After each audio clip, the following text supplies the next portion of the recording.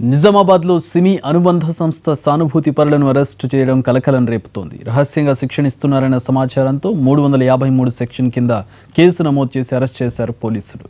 నిజామాబాద్ జిల్లాలో సిమి సానుభూతి పరుల జాడ కలకలం రేపింది. పాపులర్ ఫ్రంట్ ఆఫ్ ఇండియా పేరుతో యువతకు శిక్షణ ఇస్తున్నట్లు సమాచారంతో రంగంలోకి దిగిన పోలీసులు వారిని అరెస్ట్ చేశారు. భారతదేశంపై రెచ్చగొడుతూ శిక్షణ ఇస్తున్నట్లు తెలుసుకున్న పోలీసులు కేసు నమోదు చేశారు.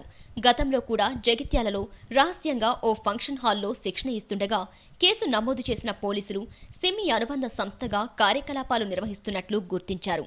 సర్వశిక్ష గ్రామ్ పేరుతో శిక్షణ అని చెప్పి దేశానికి వ్యతిరేక ప్రసంగాలు ఆపై యువకులను పాకిస్తాన్ వైపు ఆకర్షితులయ్యేలా చేస్తున్నారనే ఆరోపణలు ఉన్నాయి. జగిత్యాలకు చెందిన సాజిద్ నిజామాబాద్కు చెందిన షాదుల్లా మరో వ్యక్తిని అరెస్ట్ చేసిన పోలీసులు రాష్ట్ర అధ్యక్షుడు అబ్దుల్ అహద్ నిజామాబాద్ మండలం గోండారంలో షెల్టర్ తీసుకుంటున్నట్లు జిల్లా అధ్యక్షునిగా అఫ్రోజ్ సహకారం ఉన్నట్లు గుర్తించారు పోలీసులు. ఇంటెలిజెన్స్ వర్గాల సమాచారంతో ప్రత్యేక బృందాలు రంగంలోకి దిగి దర్యాప్తు చేస్తున్నాయి. మెయిన్ లీడర్స్ ఫండ్స్ తోనే శిక్షణ కార్యక్రమాలు నడుస్తున్నాయని అనుమానం వ్యక్తం చేస్తున్న పోలీసులు మోయిన్ లీడర్స్కి సిమీకి సంబంధాలు పాక్ తీవ్రవాద సంస్థలు మిలిటెంట్లతో సంబంధాలపై ఆరా తీస్తున్నారు.